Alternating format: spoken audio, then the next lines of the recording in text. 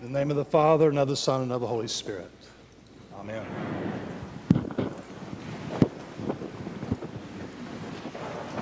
So, we all know that uh, at this point in the service on any given uh, Sunday morning, right after the gospel, we take a little bit of time to think together and talk about the meaning of the story which we uh, just heard, and we try to figure out some way that our uh, life might be connected to that story and whether there's something in that story that can uh, feed us. This morning, though, I want to take um, a little uh, break from what is our normal custom so that uh, we can uh, think together and I can talk with you a little bit about uh, what uh, lies ahead for us um, over this next year or so in this in between time, um, between the time that Randy has gone up the road, so to speak, and the, our new rector comes to be with us. I was asking um, our staff um, um, a few days ago that if they were you sitting in the pew, you know, what kind of thing would you want to be hearing from, uh, from uh, me? And they said, well, you really need to tell them something about yourself. And I thought, okay, I, I can do that. It feels a little awkward, really, to uh, stand up here and, and talk about yourself first off, but the, the fact of the matter is, is that um, I only know just a very few of you, uh, very few, some of you I know from a long time back, but uh, um, for the most part, uh, I think I'm likely to be a stranger to you, and I know that many of you are strangers to me. And so here at the beginning, I'd like to kind of uh, see if we can help ourselves uh, a little bit. So um, my name is Thom. It's Thom Blair is my full name, and I've been in this world about a little over 72 years now, which is a long pull. And um, um, I've been um, ordained for 45 or 46 years now. Um, and most of my life has been uh, spent in the parish ministry. My dad was a clergyman also, and he spent his entire life in um, parish ministry. He started out actually right up here in 1949 at St. Paul's at Hanover Courthouse. Um, in any event, uh, I've been retired for, for about 12 years now, almost entirely retired, except for teaching uh, uh, the class down there on, um, right down there on Sunday mornings for the last, uh, last two years or so. And uh, I served last as the rector of uh, St. Stephen's out there on Grove Avenue. It's a church that's famously called St. Convenience. And I, I, I hated that when, uh, when people would say that uh, uh, about us. And then before that, uh, I uh, worked at Grace Church in Kilmarnock as a rector there, and two of my oldest friends from back then just appeared this morning. Why don't you raise your hand? There.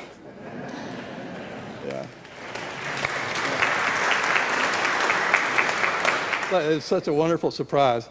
Um, in any event, there were many places uh, uh, before that, um, but now, uh, but now I am, uh, I am here with you. Randy and I um, have been friends for almost uh, 20 years now, over 20 years, and I guess I, I guess it's two months ago now. Uh, on the Sunday morning after he uh, had uh, sent out his letter saying that he was uh, going to cathedral. I was sitting right over there with my friend Ruth underneath that uh, beautiful angel um, window there. And Randy was up here. He was holding onto this lectern very tightly. I could tell that. And uh, at the beginning of his sermon, if you were here, you remember this. I think I remember it rightly. At the beginning of his sermon, um, uh, he, he put on this pretend look of innocence that only he can, only he can really do. It was, it was feigned, and, uh, but it was convincing. And he looked up and he said, Say, so is anything new happening? of course, I think that's what he said. And, and we, all, we all laughed, and most of us, well, most of us laughed. Not all of us laughed, but, but most of us laughed. And between that day um, and this day, I have become um, much to my, really much to my surprise, your, um, your interim rector. So I am, I am the, the title is interim rector, and it's, the title is meant to convey some information. Part of the information is, is that whoever is the interim, interim, interim rector, you know, it's, it's meant to, to uh, testify that this person is temporary, that, that an interim rector is one who uh, a little bit like a, um, a substitute teacher. You know, you know, we all had substitute teachers back in the day, and um, the, the work of a substitute teacher is to kind of uh, hold the fort until the real teacher reappears. And so my job uh, is similar to that in that uh, I, I, uh, I, am meant to hold the fort here until, um, until our new rector comes. And I think that with any luck, uh, a year from now, we should be very close, uh, very close to that, maybe a little bit longer. But um, when that day comes, when the new rector does come, I will go back down to the pews where you are now, and uh, um, we'll welcome that new person here. And I, I promise you, I will be the happiest man in this church. It's true. I will be. I will be. I will be really. I will be really happy when that happens. So, in the meantime, though, um, in this next uh, 12 to 14 months, we're going to be on a kind of adventure together. Um, all of us uh, here in this uh, in this congregation, in this community, we're going to be taking a. I guess you could say we'd be taking a kind of journey together. One of the difficult things about it is, though, is that you know most journeys are journeys that we chose. We go on a journey because we wanted to, we wanted to go. It was part of what the, what the thing is, but, but you don't have to think very long to realize that this is a journey that uh, none of us signed up for. That uh, none of us, I, I would assume, would have chosen to, um, to see the day when Randy uh, left and went to some other, some other place. And you know, most of us would, if truth, you know, were to be told, uh, including myself, most of us would quite prefer it would be Randy up here talking to you and not uh, some person that you, uh, that you don't know very, very well. In any event, um, because the journey is, is the way it is and because of what happened, you know, there are likely, you know, folk among us who feel really sad about this. And there's a good reason to feel sad about this, to, to realize that, that someone who's been such a part of your congregation and part of your life for so long has gone away and he's not coming back to be, uh, to be your rector. So most of us feel a sense of loss and uh, missing him and, and uh, remembering him the way he was and the way he talked and the way he, uh, he was with, with you as a, as a person. So some of us are, are, are sad and missing that, and then other people uh, are a little bit nervous, a little bit antsy about what's getting ready to, to happen. Are we going to be all right? You know, one way of looking at it is if you're not a little bit nervous, you really don't know what's happening, you know. So, so um, and then, and then, you know, if truth be told, I've come to find out the hard way that uh, sometimes when a rector leaves, uh, there are always people who are just, they are sad and they're a little worried, but they're also irked and um, sort of aggravated. At some level, sometimes it's hard when a beloved rector leaves and you feel a little bit like you've been jilted. So, so there are a lot of uh, uncomfortable feelings usually at, in, a, in a time like this. And one of the big questions once you start out on a journey like this is what do, you, what do we do about that? And there are a lot of books written about that, but it seems to me that the best idea is just is simply to bite the bullet and recognize that we're not none of us are angels. We're all just regular people. We're you know we're ordinary souls, and and we are prone to all sorts of conditions of feelings, and and so we might want to just um, sit with those feelings and relax into those feelings and realize that there's nothing wrong. There's not a thing wrong with missing Randy. There's not a thing wrong with wishing that he were you know, some way back here. Um, there's not a, anything wrong with being worried a little bit about what might happen, what's getting ready to happen, uh, or whether you know it's all going to work out, whether we're going to find the right person. And so and so forth. So the trick is to remember that feelings, when we have them, you know, they are really not under our control. They are like wild animals. They come when they want to come and they go when they want to go. And they perch wherever they feel like perching until they're ready to leave. And, and so, you know, for us, it seems to me that one of the great virtues that we want to practice, not just think about, but actually practice over this next uh, year or so, is, is the virtue of patience. And not just with one another, which is really important, but also patience with our own selves. And sometimes the slowness of the change that, uh, that transpires in our hearts. Um, patience is a wonderful, underrated virtue in church life. And so uh, I want to commend that, commend that to you uh, as, a, as kind of a, a buoy to steer by uh, while we're uh, going forward. But uh, as wonderful as that is, it's not, the, it's not the most important thing, at least in my vision of things. You know, the most important thing for us to do between now and then is to um, keep our bearings, to keep ourselves oriented, to keep reminding ourselves of what is important and what is not important, what is essential and what is uh, not essential, and to be thinking about um, not just the day to day business of our, our life together, but the kind of people, kind of parish, the kind of congregation, community we want to be when this is all done.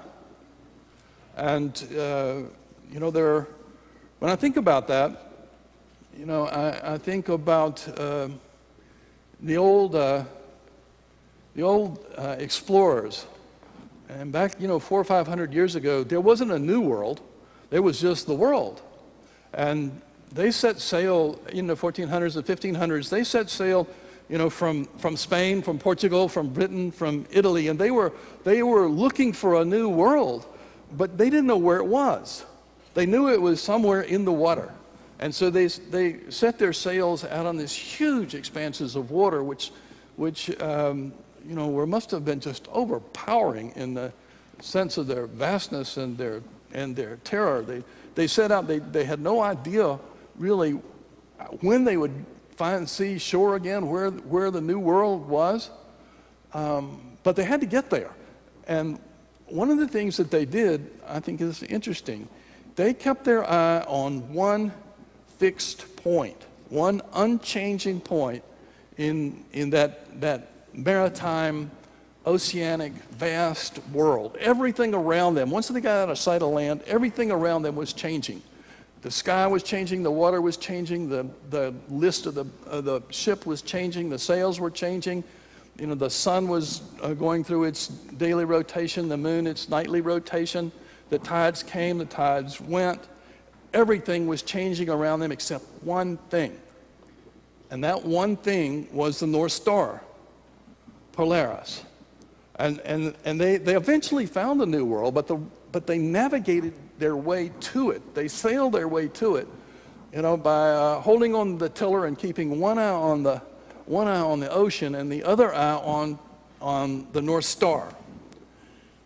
They found their way by keeping their bearings that way. Now we, you know, the North Star is not going to do us much good on this journey that we're on. but we have something better. We have something much better than the North Star. We have, um, so to speak, a person that we can actually follow. A real person, a P, person with a capital P, a person who is, who is real, as real as that pew that you're sitting in, as real as the air you're breathing, as real as the earth that's underneath this church, and alive. And alive. More alive than all of us put together, more alive than all the people in Richmond put together. There's more life in this person than. Uh, and all of us put together.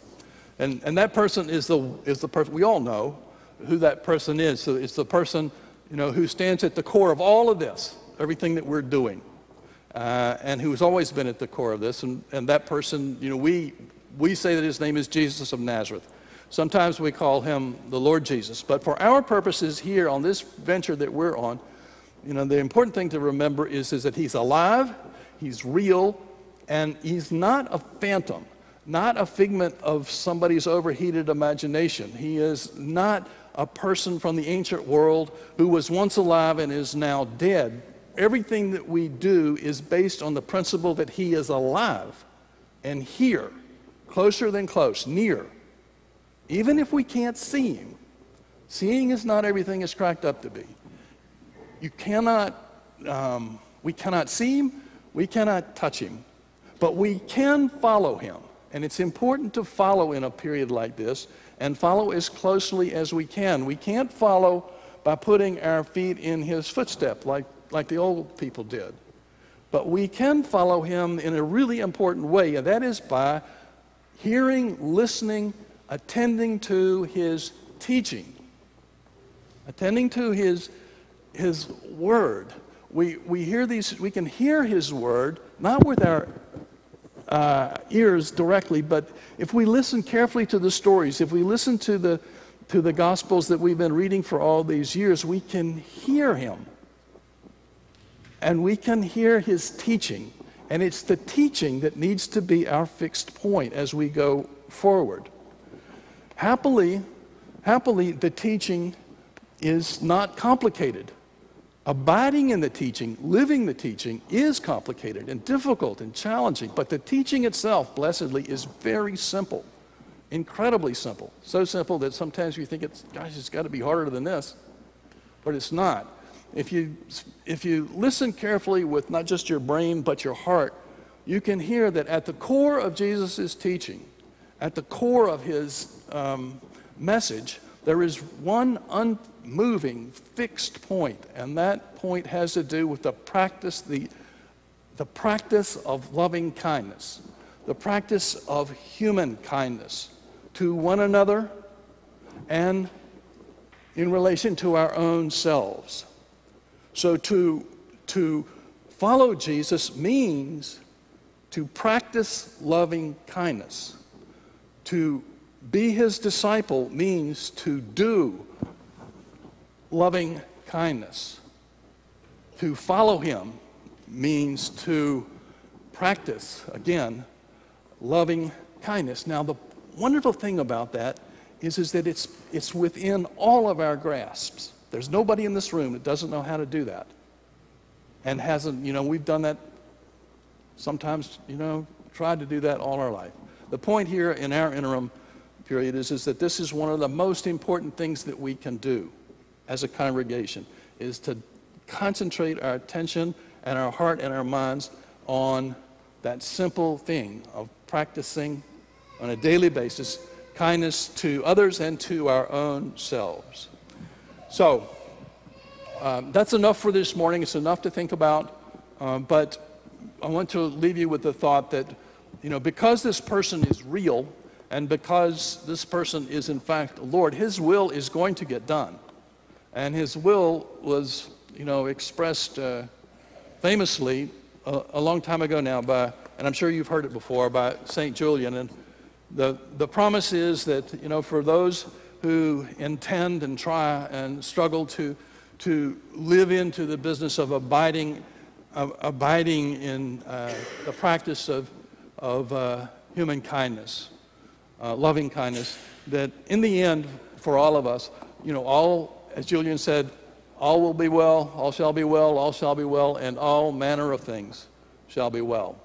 So my idea is to encourage us to you know fix that in our brains and uh, practice that as, as best we can between now and the end. And then when the end comes, we'll, we'll really have something to celebrate, uh, celebrate together. So uh, thank you. Look forward to meeting you at the back door. And if you would just be kind enough to tell me your name this time and many times after that, I would really appreciate it. Amen.